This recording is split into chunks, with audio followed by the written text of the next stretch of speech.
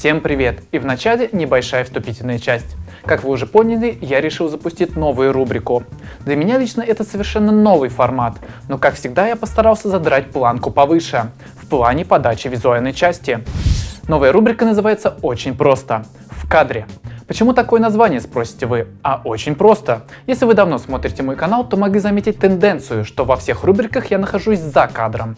Теперь же мой взор будет направлен прямо на вас.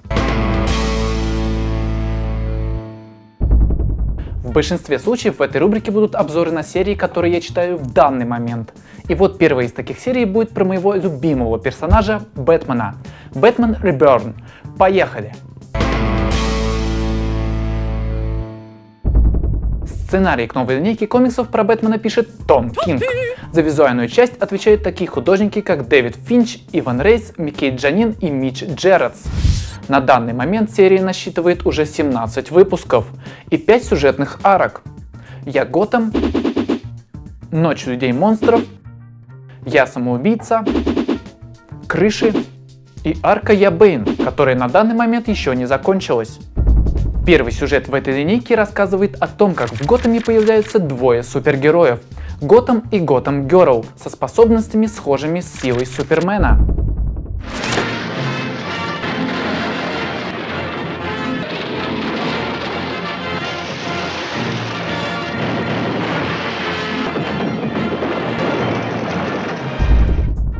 Бэтмен видит, что они хотят помочь, но им не хватает сноровки, и потому он холодно с ними обращается.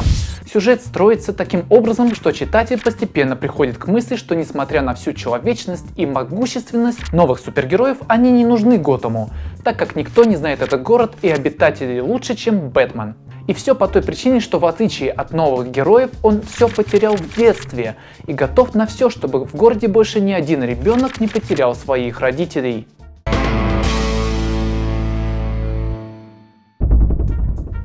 Далее вас ждет событие «Ночь людей-монстров». Пишет его вместе с Кингом Стив Орландо. А рисуют Райли Росма, Роги Антонио и Энди Макдональд.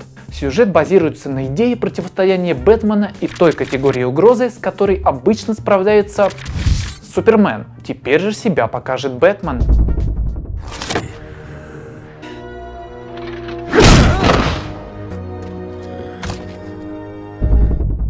Новым злом здесь служат самые настоящие огромные монстры, рушащие все на своем пути.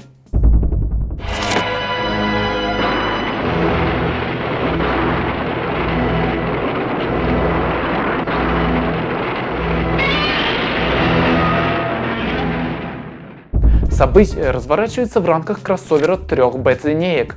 Бэтмен, детективные комиксы и Найтвинг.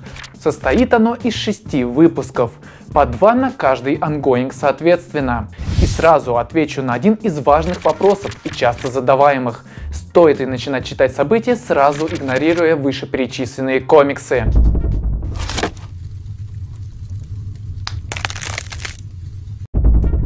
Нет, поехали дальше. Главным антагонистом всей истории выступит Доктор Стрэндж, психолог, ученый и плохой парень. Не путайте его со Стрэнджем из вселенной Марвел. Но мало ли.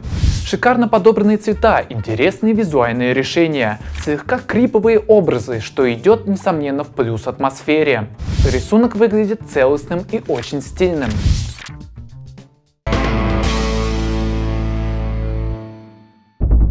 Арка «Я самоубийца» продолжает историю сюжета «Я Готэм» и рассказывает о том, как Бэтмен отправляется в тюрьму, находящуюся под контролем его давнего врага Бэйна. Но целью Бэтмена является психопират, злодей которого Бэйн похитил, чтобы тот помог ему разобраться в себе.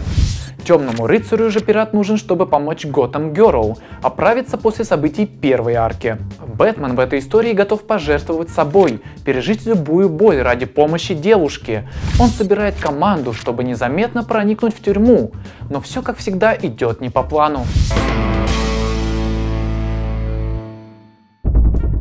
Тем читателям, которым всегда было интересно наблюдать за отношениями Бетса и кошки, Том Кинг подарил арку крыши. И это настолько смелый ход посвятить целых два выпуска комиксов о суровом дядьке любовному приключению, что диву даешься. Вообще все сюжеты данной серии вышли очень сильными в эмоциональном плане. Крышей это любовная история, рассказывающая с иной стороны Бэтмена и кошку.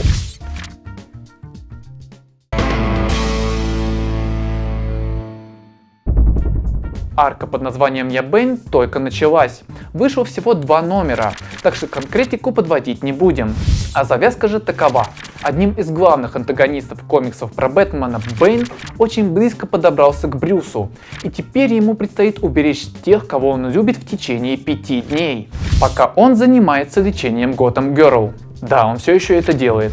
Но как вы знаете, Бэтмен не останавливается ни перед чем и никто не застрахован. Пока что вышло всего два номера этой арки, и поверьте мне, они дают надежду на многообещающий сюжет.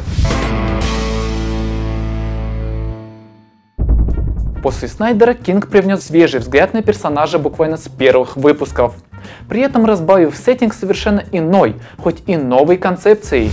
Я не считаю его гениальным автором, но для меня лично одной-двумя страницами он лучше показывает читателю всю суть Бэтмена, чем Снайдер за 50 номеров.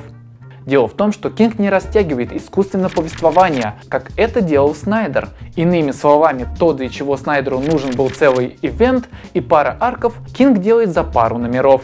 При этом наработки Снайдера вписываются в новую серию вполне эргономично. Рисунок Финча не идеален и немного подпортил общее впечатление. Но подпортил далеко не критично, а претензии к нему очень субъективны. Если рассматривать его с чисто технической стороны, принимая во внимание стиль художника, то претензий к его работе нет – ибо проблем с перспективой или анатомией тут не сыщешь, как и с изобразительной раскадровкой страниц. В общем, вы могли и сами все увидеть. Серию однозначно рекомендую к прочтению.